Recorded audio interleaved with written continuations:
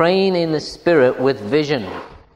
Praying in the Spirit with vision. Okay? And this is what I want to talk to you about tonight. And it's a powerful, real powerful, uh, something real powerful you can get into before God and make things begin to happen. Praying in the Spirit with vision.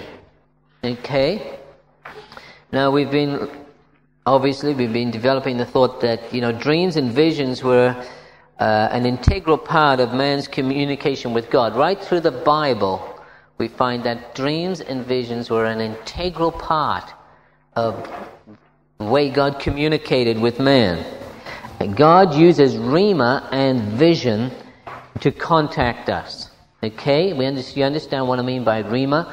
God uses Rhema, the quickened word, either directly from the, the scriptures, taking a scripture or a portion of scripture or a verse, and uh, making it a living, personal word to you. We call that a Rhema. Or God directly speaking to your spirit. I mean, the Rhema doesn't just have to be scripture, but if may God speaking to you direct, it will always, whatever God says to you, it will always be in harmony with the scripture but he can speak to you. See, a prophecy can be a rhema.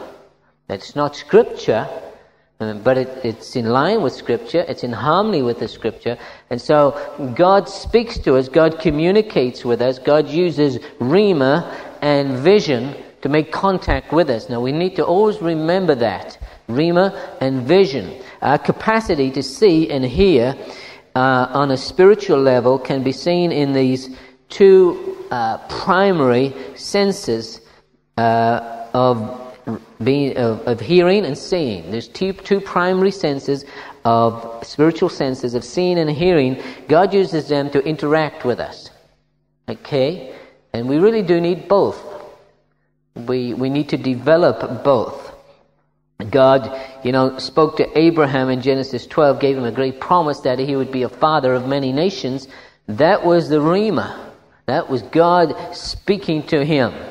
And so the promise came and it was fantastic. It was wonderful. But a little uh, later in, in Genesis uh, 13, he took him outside and he said, Now look at the stars uh, of the sky. And he said, Then he gave him a, a vision. It was Rhema and vision that God used with Abraham in order that he might to bring to pass the purposes in his life.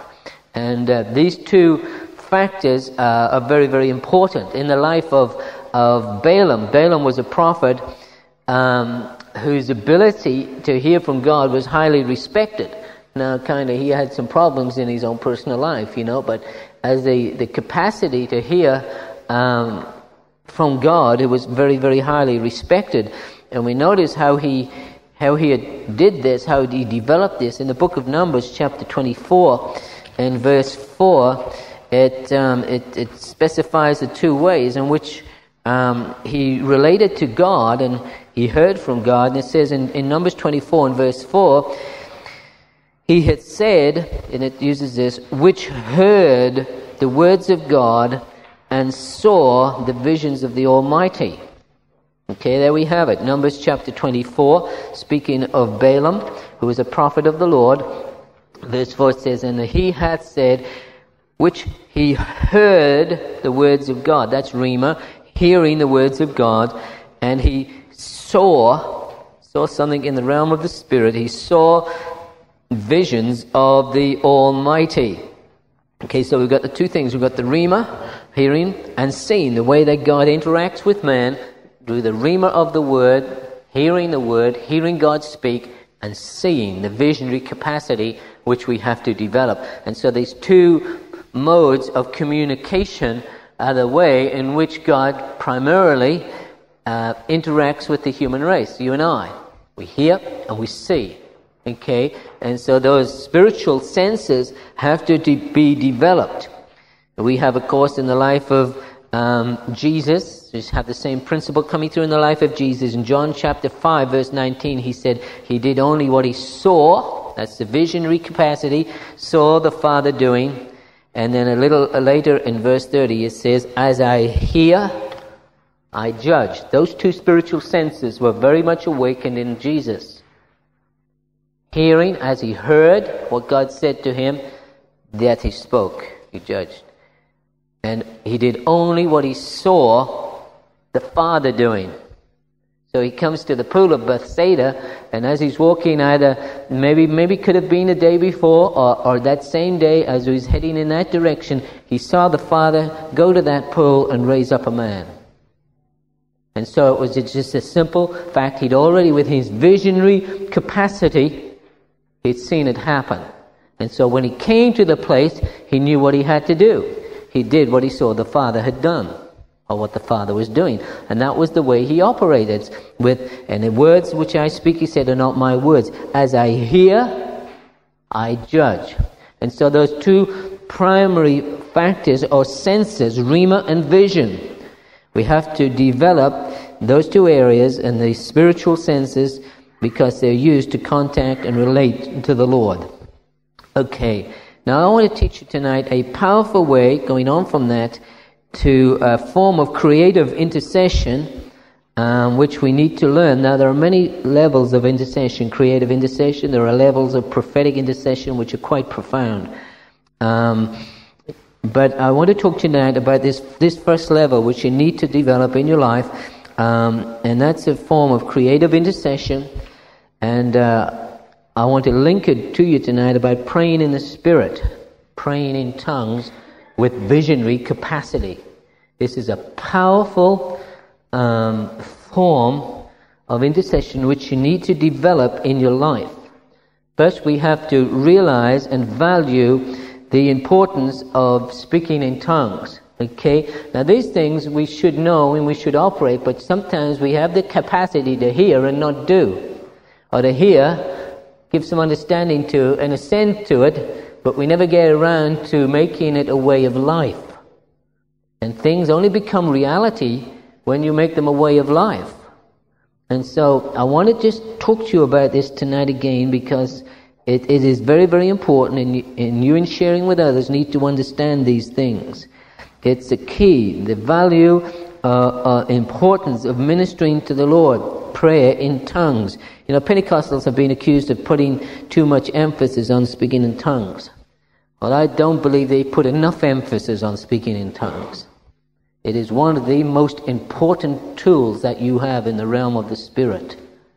And uh, you need to be aware of that. Just uh, you just just read through 1 Corinthians chapter 14. You read through that chapter and see what it has to say about speaking in tongues. Paul says in that chapter, verse 15, "I would that you all spoke in tongues." Um, a bit later in verse 4, he said, He that speaketh in an unknown tongue edifies himself. A little later in verse 18, it says, I thank God, Paul said, that I speak in tongues more than you all. His life was constantly immersed in a flow of spirit language, speaking in tongues. It was a way of life with Paul, praying in the Spirit. He said, I do it more than any of you. I speak in tongues more than you all. And um, we talked about this last week, the importance of it in Jude chapter, verse, sorry, Jude verse 20, building yourselves up, praying in the Holy Ghost. Paul said in Ephesians chapter 6, as part of the armor, praying always with prayer and supplication in the Spirit. Praying always. Okay? I think you understand the difference between the gift of tongues and speaking in tongues. I think you would understand that. In 1 Corinthians chapter 12, it speaks of uh, one of the gifts, the nine gifts of the Spirit, is speaking in other tongues. Now, now, I'm not talking about that tonight. I'm not talking about the gift of tongues, okay, which is something which is, can be operated in the church as a gift, like prophecy or one of the other gifts, gifts of healing. I'm not talking about that tonight. Um, it, you all should be speaking in tongues. You all may not have the gift of tongues. Okay, the primary gift of tongues on the day of Pentecost was to speak in a language um, which they had not learned so other people could hear the gospel. Okay, now that's going to happen again in the end times. There's no doubt about it. But um, there is, of course, the, the thought of tongues and interpretation in the church. I'm not talking about that. I'm talking about the devotional use of tongues. If you are baptized in the Holy Spirit, you should be speaking in tongues. That doesn't mean to say you have a, the gift of tongues to minister in the church, but you have the ability to pray in the Spirit, a devotional use of tongues. There is a difference between the two. And what I'm talking about tonight is your ability to pray in the Spirit, to pray in tongues, to speak in tongues, okay? Um, and it's very, very important. In order to do this, I want to kind of link the allegory together between speaking in tongues and circumcision, because it's very important you understand this. Um, coming back to Abraham, Abraham was the father of our faith, we understand and we know that. And in Galatians chapter 3 and verse 14, we have that very familiar verse that, um, speaking about the death and resurrection of Jesus for this purpose, that the blessings of Abraham might come upon us, the Gentiles, through Jesus Christ, what, that we might receive this promise of the Spirit. Okay, that the blessings of Abraham might come upon you because of the death and resurrection of Jesus, that um, those who receive the promise of the Spirit. Now, notice he links the blessings of Abraham with those that receive the Spirit. Okay, now this is very, very important. The blessings of Abraham in coming into your life are linked with those people who receive the Spirit, the Holy Spirit. And it's specific, it's very, very clear that the blessings of Abraham may come upon the Gentiles, we which receive the promise of the Spirit through faith. And so the two things are very clearly linked together. The blessings of Abraham, of course, were everything that Christ has purchased for us through Calvary financial blessing, material blessing, victory over our enemies. Um, the relationship that Abraham had with God, the tremendous relationship, this is can be ours the fruitfulness, the, the possession of the promised land which God promised to him, uh, the fulfillment of the destiny of, on his life. All of these things uh, were the blessings which were upon Abraham. And, and Paul is saying now all these blessings can become yours, you who become recipients of the Spirit of God, the Holy Spirit. He's linking the two together. Okay, now let's just look at this. The Bible tells us, first of all, when God first uh, touched Abraham, and uh, let's just find it for you. In Genesis chapter 15, he's dealing with Abraham, and it says, Abraham, God was dealing with him, and says, Abraham believed God. Okay, faith, believing God. In Genesis uh, 15 and verse 6, and it says, He believed in the Lord, and that, because he believed God, it was counted to him for righteousness. That was the basis, the foundation of the whole thing. How many of you know because you believe God through faith and you believe God, you're accounted righteous? It's through salvation is through faith in Jesus Christ, not of works, lest any man should get into the act and be feel proud about it. But he says it's because we just believe God. Okay, through faith, you are born again. This is what's happening. This was, this was the first stage with Abraham. Abraham believed God, and because of that, because his faith in that and faith alone, it was counted unto him for righteousness. That was the first stage in Abraham's life. Salvation through faith. Okay, that was the first stage. And that's the first stage in our lives. When we're born again by the Spirit of God, it's through salvation through faith in the shed blood of Jesus. But there was a second stage in Abraham's life. And the second stage was also um, very important. And the second stage comes a little later in Genesis chapter, uh, let's see, 17 and verse 2. And it says, um, Abraham's 90 years old now. And uh, it says in verse 2 Now I will make a covenant between, between you and me, and I will multiply thy seed exceedingly. And Abraham fell on his face and God talked with him, saying, As for me, behold, my covenant is with thee, and thou shalt be a father of many nations. Now, this is quite a while after his first encounter with the Lord, where he believed God and it was accounted unto him for righteousness. Now, sometime later, he's 90 years old. God comes to him and he says, I'm going to make a covenant with you. It's very, very interesting because there are times in our lives when God makes covenants with us by the Spirit of God. But this time he came to Abraham and he said, Now, nothing more can happen until I make this covenant with you. And so there's another thing unfolding. It's a second stage. And he said, Now, I'm going to give you a sign or a seal or a token that I've made a covenant with you. You remember when um, Noah came out of the ark and God put a rainbow in the sky? And he said, Noah, I'm going to make a covenant with you, and this is the seal. He said, every time you see this in the sky, he said, I will never, you'll be rest assured, I will never, ever do this to the earth again. He was talking about the flood. So he made an assur- he gave him a covenant, and he gave him a token or a sign or a seal of a rainbow that went with that covenant. So now here God's making a covenant with Abraham. And he's saying, now I'm making a covenant. You know when God makes a covenant, it's assured. Okay? When God makes a covenant, there's usually two parties to a covenant, but when the covenant is made, it is for sure. God will never ever break his covenant. He goes through the scriptures over and over again. It says, that, and it's repeated over and over again that he would not break the covenant he made with Abraham and his seed. So now it's coming down to the point where God's laying his word on the line and he's making a covenant with him. And he's, he's kind of sealing something in into Abraham's life. And um, it's recorded here in, in, in, this chapter, chapter 17. He said, I'm going to make a covenant with you, verse 2. And he said, This covenant will be made, and thou shalt be a father of many nations.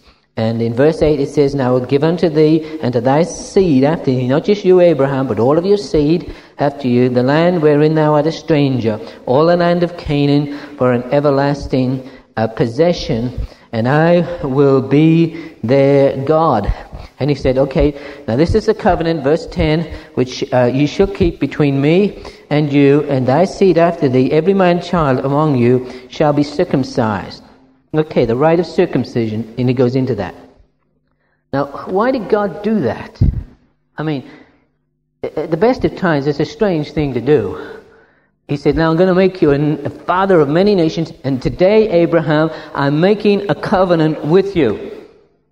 I'm going to give you a sign that this covenant will, I will honor this covenant.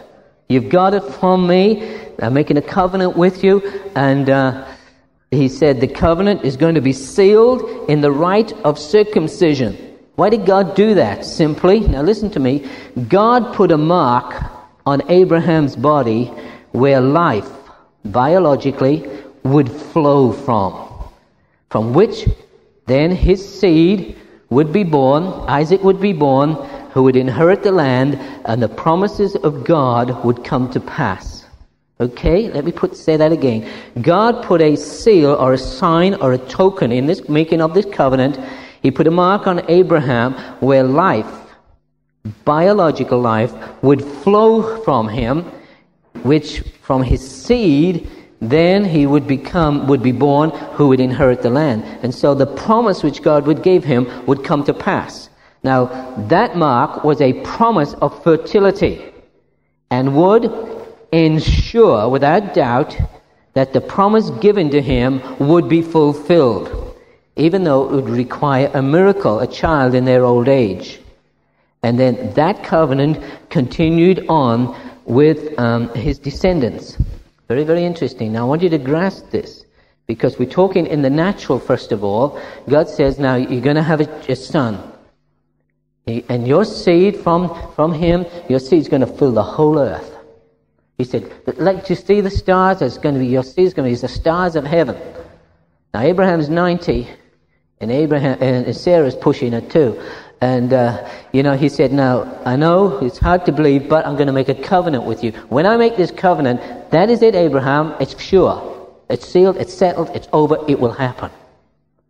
And he gave him this right, this right of circumcision, putting a mark on him where life biologically would flow from. And so God made this strange, this unusual covenant uh, and, and a sealing with Abraham and then all of his descendants. You say, well, what's the connection between this and speaking in tongues? Okay. First of all, saved by faith, like Abraham. We come into the kingdom of God. We're born again by the Spirit of God. We are saved by faith. We're made righteous in the eyes of the Lord by faith. That's the first step you entered into, right? You've been born again by faith. That was the first step that Abraham entered into. Okay, but God wants more than that for your life. He wants you to bring forth life. He wants you to enter into your inheritance in God, your destiny for your life, what God has purposed for you, what God has got for you. There is a purpose, there is a destiny, there are the promises of God which were over you before you were born.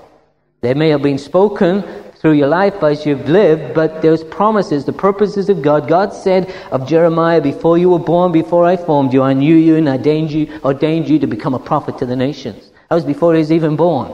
God has a purpose and a plan for your life, right? And like Abraham, God had a purpose and a plan. There were promises. There were things in the destiny of this man who came from a, a, an incredibly occultish background. He came out of Babylon.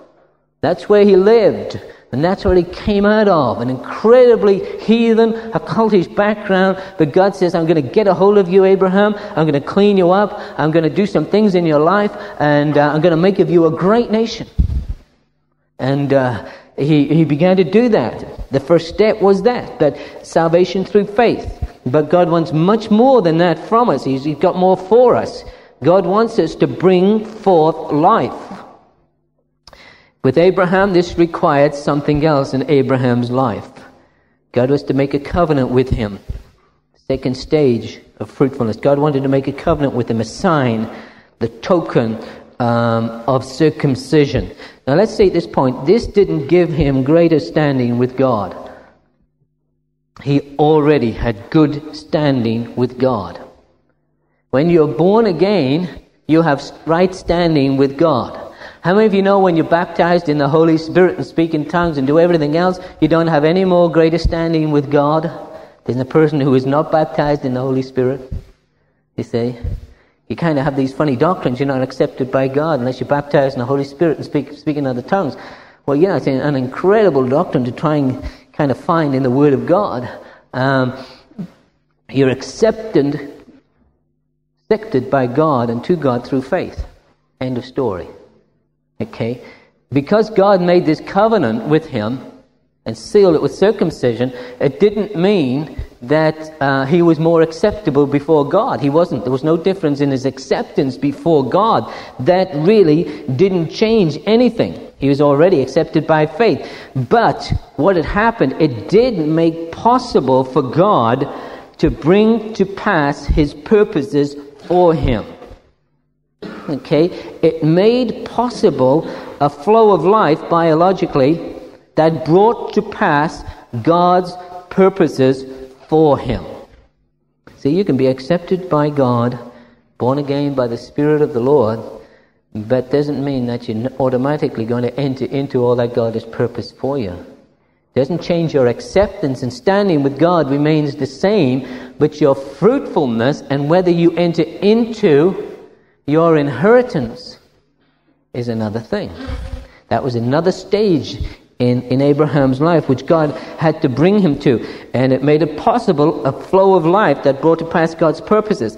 Now, so it is with us. Okay, we're born again, we come to the kingdom of God. Mark 16 and verse 17 says, Speaking in tongues is for a sign. And then we read um, in um, 2 Corinthians chapter 1. If you have your Bibles, come across to 2 Corinthians and chapter 1. Second Corinthians in chapter 1 and verse 22, it speaks, uh, verse 21, first of all, it says, Now we are established in Christ. Okay, we come into the kingdom of God. It says in verse 22, Now he which is established, who establisheth you in Christ and has anointed us is God. Then it says, Who hath sealed us and given us the earnest of the Spirit in our heart. All right, who has sealed us um, and given us the earnest? That word earnest is a Greek word which means a pledge or a token, a sign, Okay? God has sealed us with the Holy Spirit. That's a covenant He makes with us and has given us a sign or a seal of the Spirit within our heart. A Greek, a pledge, a, a, token of our inheritance. First salvation, then a seal or a token of the Holy Spirit. The earnest, just the down payment, a sealing. So he's talking about the, the Spirit coming into our lives. So the, the incoming of the Spirit, speaking in tongues, is a token or just a pledge for what God wants to bring us into. Now, say this. As God put a mark on Abraham where life would flow from, where the promises of God would come to pass in his life, so God puts a mark in your mouth. He puts a sign, a token, or a mark in your mouth where life is going to flow from, which will make possible the purposes of God to come to pass in your life. Do you understand what I'm saying? Do you see the allegory between the two?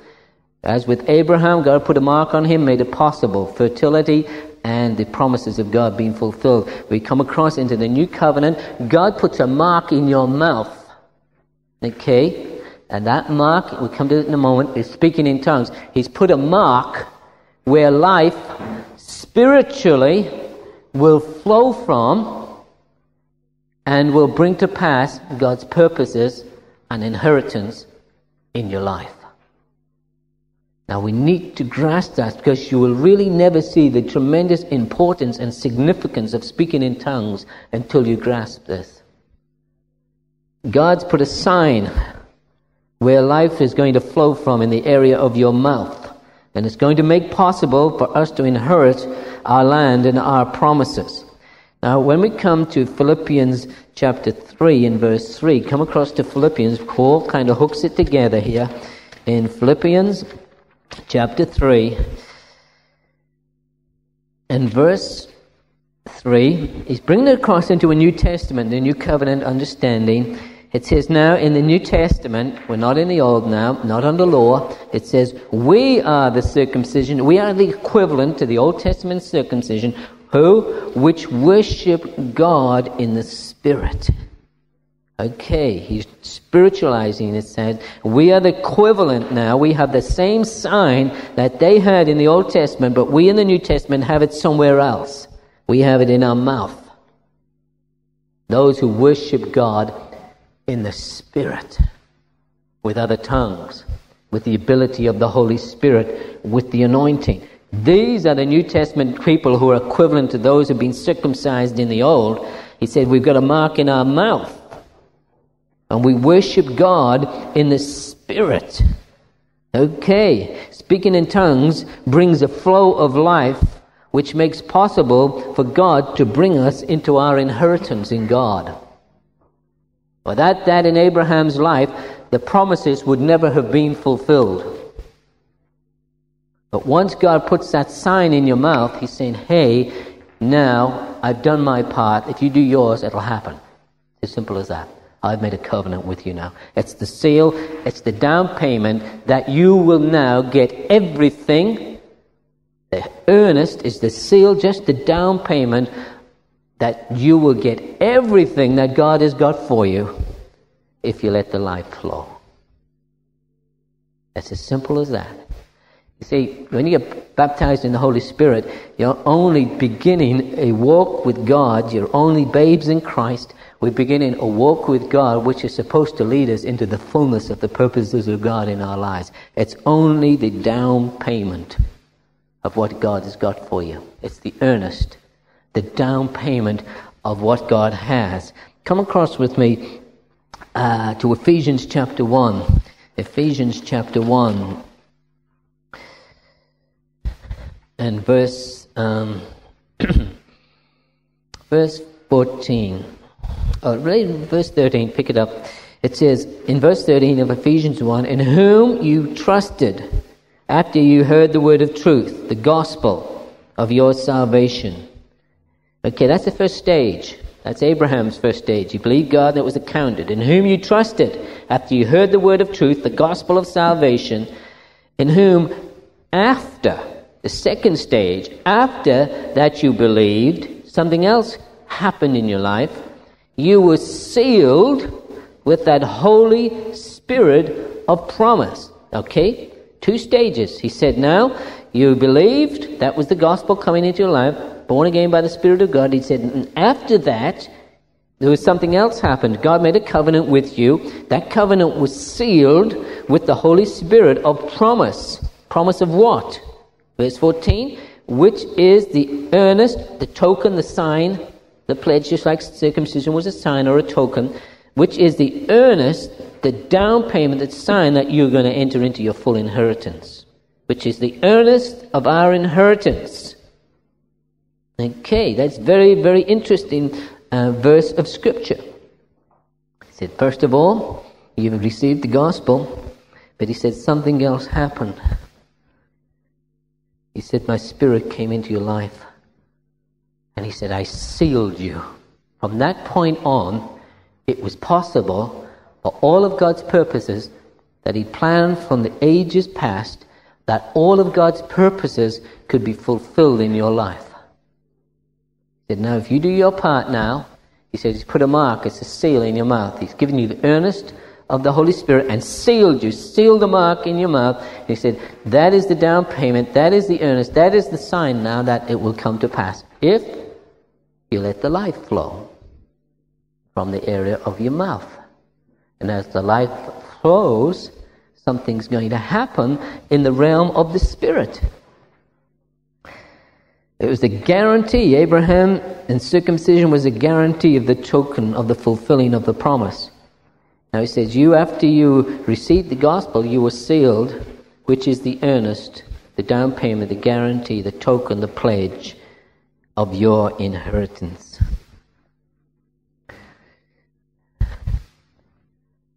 And so the purposes of God in your life have to come and be released. Just like Abraham, there was a flow of life from his body which brought to pass the purposes of God. There is a flow of life from your mouth which has to come in the realm of the Spirit that will begin to bring to pass God's purposes for your life. As you speak in tongues in the realm of the Spirit and reach into God in intercession in tongues, it has a life birthing power. Okay? A life birthing power. Things actually begin to happen. And you know when you pray in tongues, you pray in the will of God, the Bible says. And the Bible says also that if you pray anything in the will of God, He hears us, and if He hears us, we have our petition. Every time you pray in the Spirit, it's answered. I want you to think about that. Every time you pray in the Spirit, it's answered guaranteed to be answered. That is it. God's put the, given you that guarantee. He's given you that token. He's given you that sign. He's made that covenant with you. He said it's guaranteed. There's a tremendous power, life birthing power of praying in the realm of the Spirit. God does something in your life when that gets underway. Turn with me to Romans chapter 8. In Romans chapter 8 and verse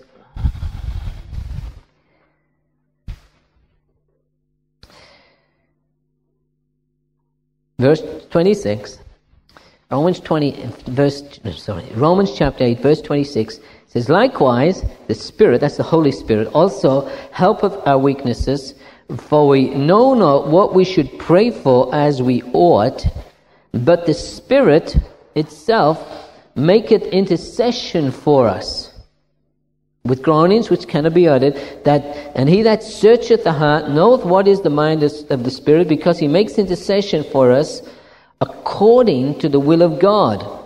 And then we are going to know something that all things will work together for god for good to them that love God and to them who are called according to his purposes. For whom he foreknew your life, he knows what he, you were born for. He also did predestinate that you might be conformed to the image of his Son and be the firstborn among many brethren. All right. It says the Holy Spirit now will pray through us, will make intercession through us because we do not know how to pray fully for our lives, for our future, and what God has got for us. But it says, He that searcheth the heart knoweth what is the mind of the Spirit for us. And He will make intercession for us according to the will of God. Hallelujah. And He said, then when that happens, something else is going to happen. All things are going to work together for good. All things do not work together for good until you start to begin to pray in the Spirit. They can't because you're not praying according to the will of God. There are many things about our lives and futures and purposes of God that we don't know. That He makes intercession according to the will of God for us. There's a life birthing factor, our inheritance, all that God has purposed from us from the foundation past, He'll begin to pray them into existence for us. And that's what the Bible goes on to say here.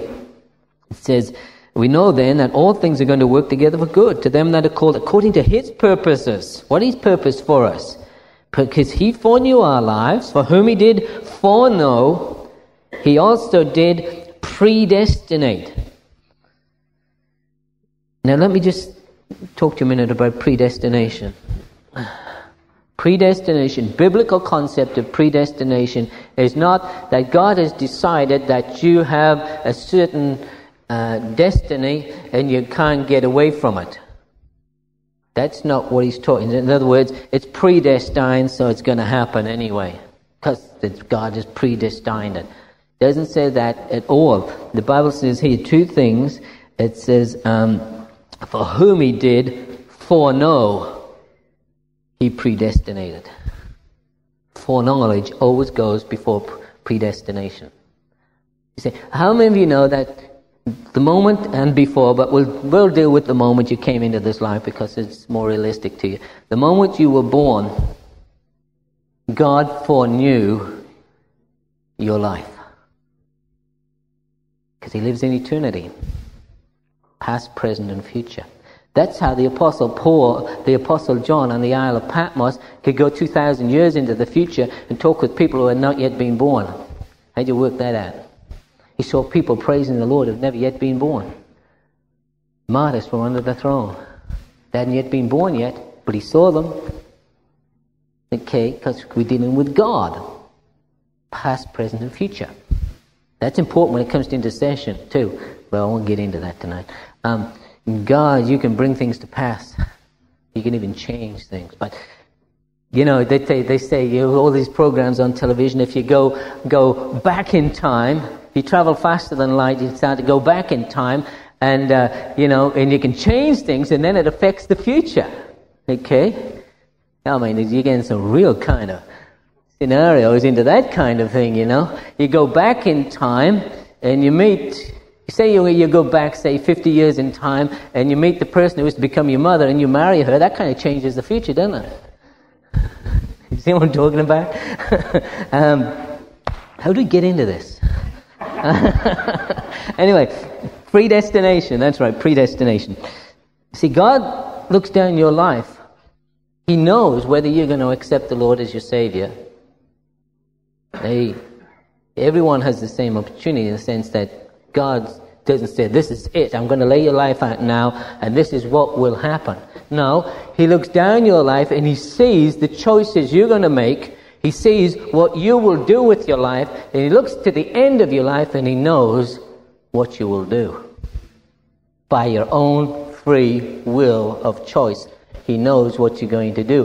Whom he foreknew, those people that were predestined, he knows what your destiny is because he can see to the end of your life. Now, he doesn't force you to make those decisions. He doesn't do anything like that. You have choice. But he knows, he sees the choices you will make as he works down through your life. He sees you growing older before you grow old. He knows the choices you will make. He gets to the end of your life. He can evaluate your life by the choices you have made, the responses you've made to God. He says, yes, this person, this is how he'll end up. They are predestinated to that because that's the way they will go. Predestination according to the foreknowledge of God. Now, There are certain things that God has got for us, there's no doubt about that, but they will not automatically come to pass. They have to be birthed in the realm of the Spirit through right choices, right responses to the Lord, and through the kind of thing that we're talking about today. It says, because we don't always know what God has got for us and the purposes of God for our life, He says, the Spirit the Holy Spirit will make intercession for us according to God's will. The Holy Spirit will begin to pray through us for our lives according to God's will. And then we will know that all things will begin to work together for good. To them who love God, to them who are called, to have a call according to his purposes. He says, because whom he foreknew, he predestinated. Okay? And so Paul is talking about that the ability of the Holy Spirit, knowing the mind of the Spirit, to pray through us in intercession. That's why we say that whenever you pray in tongues, it is answered. You always have the answer for what you're praying for. Yeah, that's incredible when you think about that. If you really just think about that one thing alone, you'll spend more time praying in tongues. Because it's always answered, because it's always in the will of God. And then all things begin to happen in your life. The right things slot into place, all things begin to work together for good, because the Holy Spirit is praying ahead of you and arranging it according to the will of God, and it will happen because it's prayed in the Holy Spirit. And it all begins to work together. But people who don't spend time, they don't spend time praying in the Spirit, don't spend time birthing. God's put a mark in your, in your mouth where He can bring to pass His purposes for your life. But unless we do it, it's not effective. And that's the same we see with Abraham, the promises of God in his life. God put a token with him, a seal of circumcision. He said, It'll happen. Do your part and it'll happen. He says, With you today, he said, There's a seal, the earnest of your inheritance. Giving you the down payment of the Spirit, a token in your mouth. Now he said, The full inheritance is ahead of you, but it's got to be birthed in the realm of the Spirit. Okay, understanding that and the, the tremendous importance of that. God gave Abraham one other thing we gave him, we mentioned earlier, he gave him not just the Rhema, but he gave him a visual reference, right? It was Rhema and vision that God dealt with him in. Same with Jesus, Rhema, hearing, and vision. Okay, now there's an area which you need to learn to couple with this. That's very exciting if you'll do it and get into it, into the flow of the Spirit in that, that is praying in the Spirit with vision. Praying in the Spirit, which is a life birthing factor, with vision. Now, remember last week we talked about uh, the importance of and getting into that realm of the Spirit in the visionary capacity um, how in 2 Corinthians 3.18, and we beholding him in a glass, or in the Greek, the mirror, or a screen. Okay? And it says we see through this glass darkly, it's not always vividly clear. But we can behold the Lord, beholding him. And we talked about, remember the screen, where you can put up on the screen anything you want out of your imagination. Satan can project onto that screen, and God can project onto the screen, right? So you have to keep your screen clean. Just keep good things up on that screen. Otherwise, you're going to be in big trouble. You control. Okay, but it says there's a screen in there. The Bible calls it uh, we as a glass, beholding Him as in a glass, the glory of the Lord. We are changed from one level of glory to another. It's a Greek word for screen or a mirror, and uh, we put the Lord onto that screen, beholding Him in our mind's eye. And you kind of, we talked about priming the pump, remember? It's you that's doing that initially. You put the, you set your, the eyes of your heart upon the Lord on that screen, beholding Him. And what you focus on, you tune into. That's a spiritual law. So when you do that, you begin to tune into the Lord. And it passes from you, your projection, then it, it, it transcends into another level of His projection onto the screen. Now, understanding that when we come to the Lord, we behold Him, we, we put Him up there, we set the Lord before our eyes. We behold Him, we minister to Him, uh, our focus is held on there, and we get into the realm of the Spirit and we begin to pray in tongues. This is intercession. This is praying in tongues. And you'll find as you get into a flow of that and stay with it, you don't hurry it, you get into a flow, you'll find with your focus upon the Lord, you'll find slowly that God, the Spirit, will begin to put other things up on that screen. And there'll be quite often, first of all, things for your own life. You'll begin to see what God's purpose and destiny for you is up on that screen. And as you're praying in tongues, you are praying in the will of God and you are birthing in the realm of spirit your inheritance, your destiny in God. And it's an exciting way to get into because then God begins to show you something of your inheritance. And it can be in a series of pictures, it can be in a series of events, and you're praying in other tongues. You're not praying in English, you're praying in other tongues, you're praying in the Spirit you're seeing the Holy Spirit is projecting your future because He knows the future. He's projecting what His purposes for you are up onto that screen, and the coupling of the two in praying in the Spirit with a visionary capacity is incredibly powerful in the realm of birthing into the realm of the Spirit. You couple the two together then. You couple the word of the Lord, the Rhema, which is now praying in the Spirit, and from that point of view, with a visionary capacity, and you are birthing in the realm of the Spirit. I've many, many times I, have I've been into the, in the realm of the Spirit, just waiting on the Lord, beholding Him, praying in tongues, and suddenly I'm in another nation. Seeing things happen. And as I pray in the Spirit, I either stop them happening or I birth them. It can be either way. God sometimes wants to stop things happening. You see, we need to be praying for China at this present time. China is at the crossroads. What's happening there is unprecedented in the history of China. China is at the crossroads of civil war. We don't know the purposes of God and the, ramif- the long-term ramifications of the next few years. What's at stake there? But I want to tell you, there's a lot of powers of darkness and powers of good are in conflict over China. Okay? There, there's a lot at stake.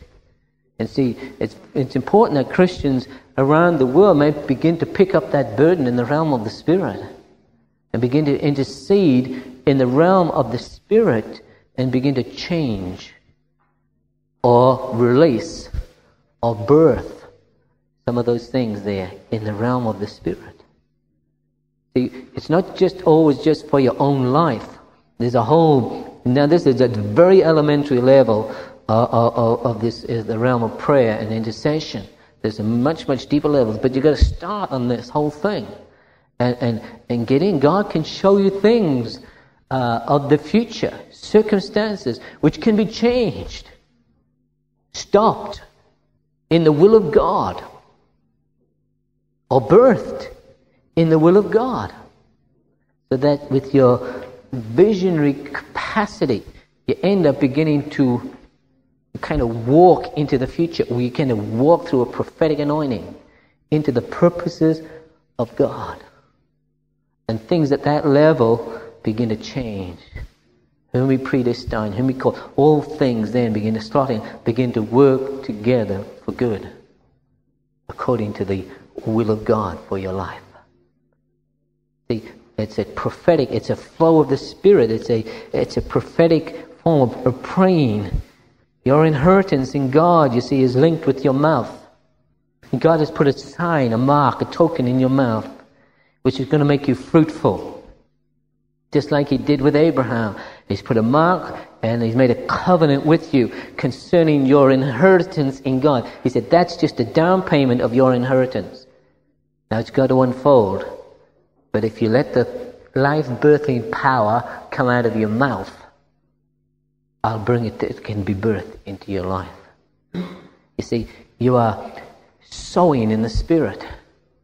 You are building in the invisible for your life. See, a lot of people go down their lives and people say to me, you know, I don't know why that person got all the breaks, why these, that, why, you know, God worked for them, why things happen in their life. Well, I'll tell you why. Because they've, they've built in the Spirit. They're built in the invisible. That's why. You say, well, it doesn't happen to me. Maybe you haven't built in the invisible. The building in the invisible is a form of prayer and intercession. And you've got to build it. You've got to bring it to pass. You've got you get into the realm of the Spirit and birth those things in God. And some people go all of their lives and things don't happen for them because they have never built. And sometimes people go for a long time and they sowed in the Spirit and they built in the Spirit and suddenly the timing comes and, and God works and everything unfolds for them. And they get birthed into something in God. Sometimes it's going to be after many years of sowing to the Spirit building in the Spirit, and then cracks in God, and you're into it. And people look and say, oh, why did that happen to them? I mean, you know, how come? Well, it's because they built in the Spirit, building in the invisible, sowing to the Spirit, making intercession in, in the will of God, so that the promises of God. See, Abraham is made righteous by faith, but the purposes of God could not come to pass in his life until something else happened. And that one thing was that God had to make another covenant with him and seal it. He said, Now, Abraham, it'll happen. You've been born again. Fine, that gives you standing with God, right standing. But we are sealed with the Holy Spirit. The baptism of the Holy Spirit and the capacity to pray in the Spirit, that mark in your mouth is a second stage. And he said, then if you will use it, our birth, your inheritance, will not be just a down payment, not just the pledge, not just the earnest, it will come into fullness. This is the down payment. He said, now go for it. Birth it in the Spirit with the power in your mouth learning to walk in birthing and praying in the Spirit with a visionary capacity. I want you to begin to enter into this. I want you to begin to do this. I want you to begin to get into that dimension. Now, if in the visionary capacity, if at any stage it becomes negative and destructive or destructive, wipe the screen and put the Lord back up there. You cannot guarantee, because your minds are still very wayward, they're not renewed yet, you can't always guarantee that your mind is not going to start painting something up there with God. Or sometimes other spirits come in. Okay? So if it becomes negative or if it becomes destructive in the visionary capacity of what you're seeing, wipe the screen, keep praying in the spirit, put the Lord back up there. Okay? Start again, let Him t- take you. And that's how you learn to flow in the realm of the Spirit. And it's very, very important that you, you begin to do it. That you understand the principle and that you begin to do it. There's lots of things happening in the world today.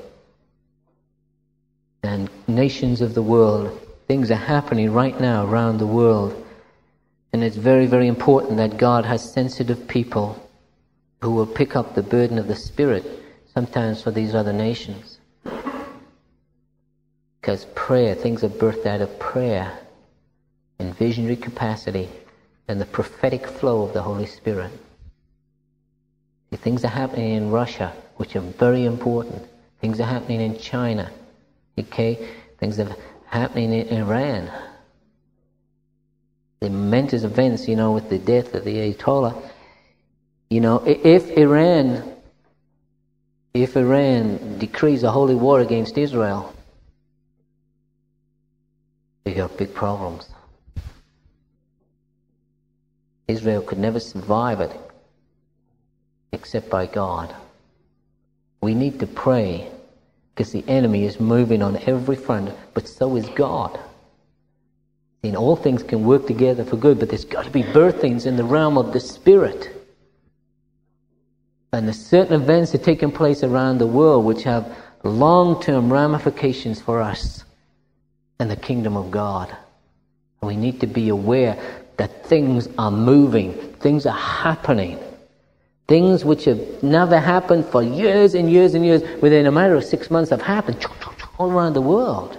Remember last year we were saying that this year there would be global changes? Well, it's happening all around the world, global changes.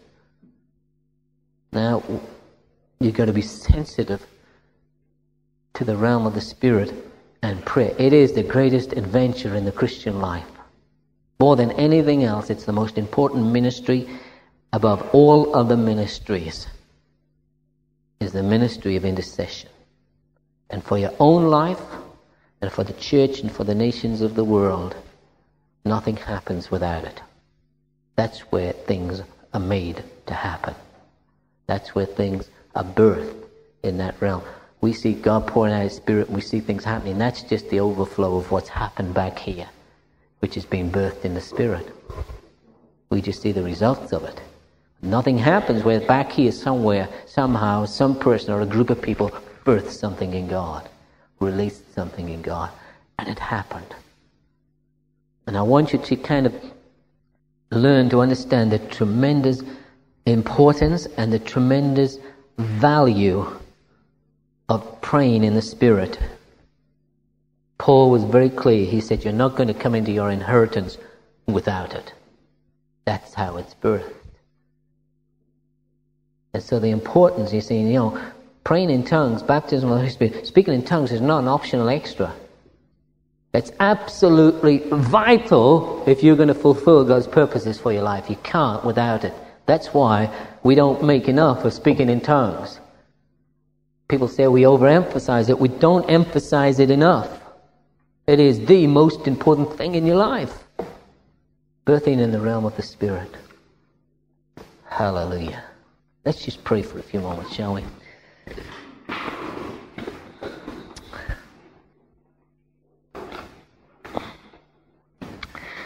Thank you, Lord. Thank you, Lord Jesus.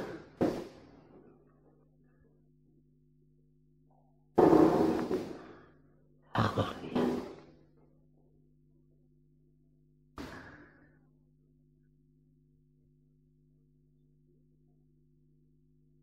Prayer is not a dull thing, it's a very exciting thing.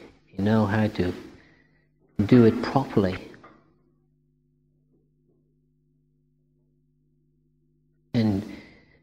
To learn, we have got to put, as I said last week, quality time aside for this ministry. It's not just an optional extra, it's the lifeline of your Christian life. All things will not work together for good unless you do it. They don't just happen automatically because you're a Christian and you love God.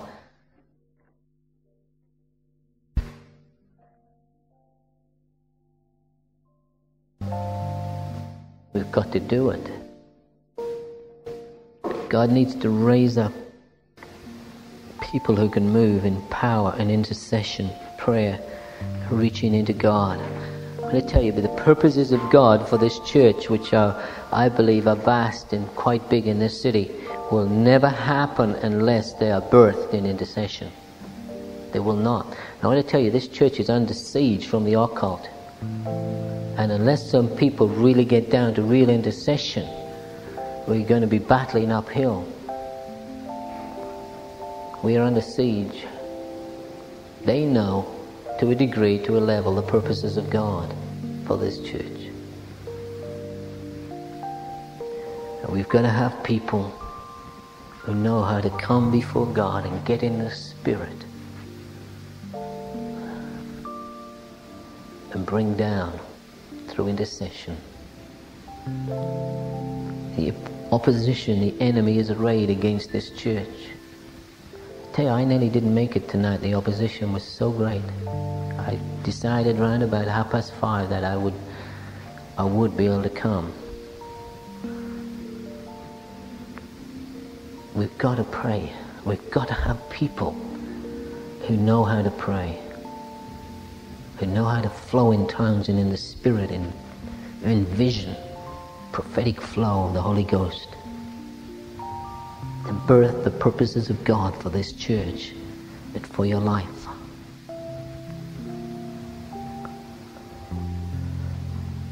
Father, I pray tonight that you'll just take this word as seed and as it's been scattered into the hearts of people tonight, that it might find ground to grow in, germinate, and produce fruit. That it might take root within the hearts and lives of people here tonight and change their prayer lives, change their approach to the things of God, with understanding coming before the throne of God in intercession and prayer Father, I just pray tonight that by your Spirit you'll birth something out of these words which have been spoken tonight within the hearts of your people, which will affect changes within them and bring them into a new degree, a new dimension of prayer, intercession, praying in the Spirit to bring to pass your purposes in their lives and for this church and for our nation.